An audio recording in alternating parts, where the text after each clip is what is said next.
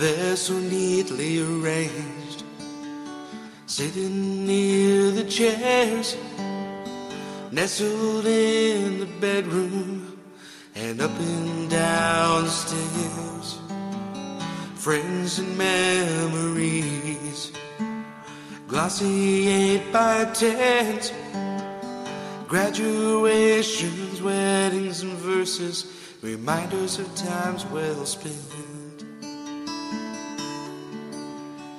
In her bedroom, it sat there